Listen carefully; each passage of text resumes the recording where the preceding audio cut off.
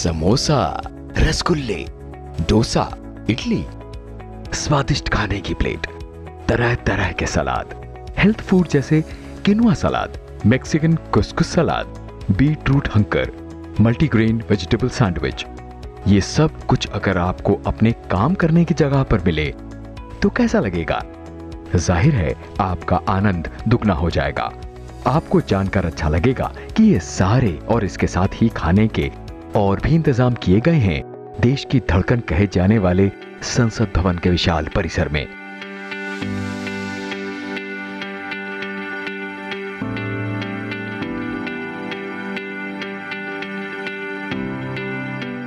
इस catering unit की खासियत यह है कि प्रधानमंत्री, लोकसभा अध्यक्ष, राज्यसभा के सभापति अक्सर यहाँ के स्वादिष्ट खानों का लुत्फ उठाते हैं।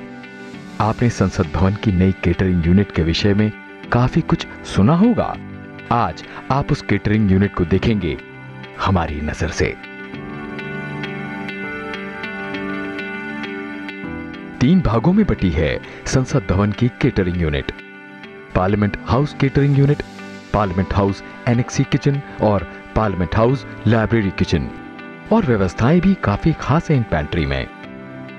संसद परिसर में 12 से 15 पैंट्री हैं, जिनमें पीएम की पैंट्री, लोकसभा अध्यक्ष की पैंट्री, नेता प्रतिपक्ष की पैंट्री, राज्यसभा की पैंट्री एमपी डाइनिंग रूम और मीडिया पैंट्री। उन्नीस से नॉर्दर्न रेलवे केटरिंग यूनिट ने संसद भवन में केटरिंग का काम संभाल रखा है। यह व्यवस्था लंबे समय तक चली। सत्रहवीं लोकसभा में ओम बिरला ने अध्यक्ष का पदभार ग्रहण किया तो उनका ध्यान इसके बदलाव की तरफ़ गया। उन्होंने केटरिंग यूनिट को नया रूप देने का काम शुरू किया। इसी कड़ी में 27 जनवरी 2021 को भारतीय पर्यटन विकास निगम आईटीडीसी को केटरिंग यूनिट को संचालित करने की ज़िम्मेदारी मिली। मकसद था खाने पर मिलने वाले स्टैब्लिशमेंट कॉस्ट्स को कम करना, खाना और केटरिंग की व्यवस्था को चुस्त दुरुस्त करना। खाने पर स्टैब्लिशमेंट कॉस्ट की वजह से सरकार को करीब 20 करोड़ रुपए सालाना खर्च करना पड़ रहा था। अध्यक्ष महोदय के इस फैसले के बाद अब ये बजट घटकर आधे से भी कम हो गया है। अब आठ से नौ करोड़ का सालाना खर्च आ रहा है। आईटीडीसी ने खान पान में काफ़ी सुधार किया है।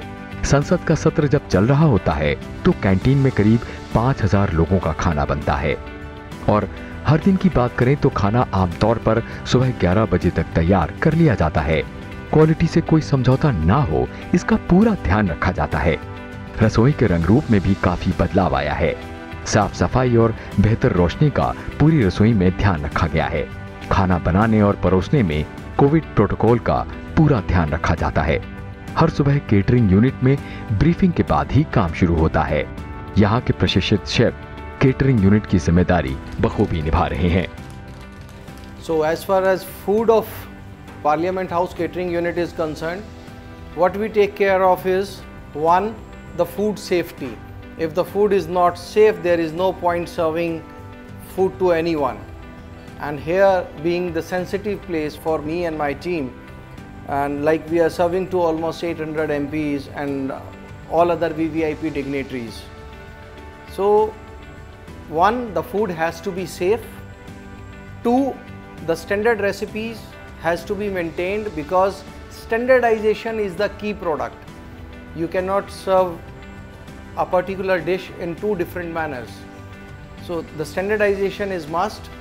Third, the texture, the taste has to be consistent.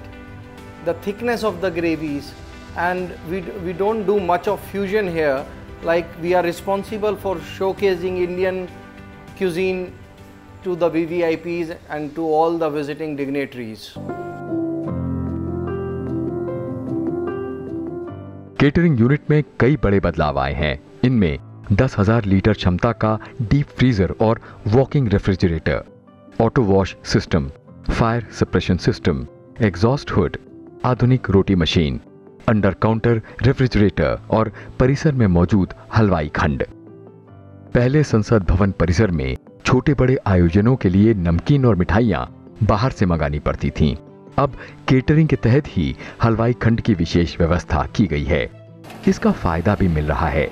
अब मिठाइयाँ और नमकीन बाहर से नहीं मंगवाए जाते और यहाँ तैयार मिठाइयाँ और नमकीन स्वाद में भी किसी से कम नहीं। कोरोना संकट और भविष्य की जरूरतों को देखते हुए आईटीडीसी केटरिंग यूनिट खाने का ऑर्डर लेने के लिए खास ऐप बनाने की योजना पर काम कर रही है।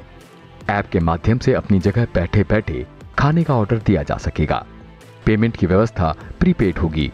इधर ऐप का बटन दबा और उधर मिनटों में मनपसंद खाना सामने होगा। इस पूरी व्यवस्था के लिए ज़रूरी खाद्य सामग्री, अनाज, दालें, तेल, घी मसाले की खरीद केंद्रीय भंडार से होती है। खाद्य परिसर की संसद परिसर के गेट पर कड़ी चेकिंग होती है। खाने का सामान सुरक्षित रहे, इसके लिए उन्हें बड़े बड़े कोल्ड स्टोरेज में रखा जाता है। स्वच्छ भोजन तैयार करना, खाद्य सुरक्षा का ध्यान रखना और अंतर्राष्ट्रीय मानकों पर खाना तैयार करना इतना आसान भी नहीं है, पर संसद भवन की केटरिंग यूनिट बड़ी कुशलता के साथ अपना दायित्व निभा रही है। तभी तो ये बाकी कैंटीन से बिल्कुल भिन्न है।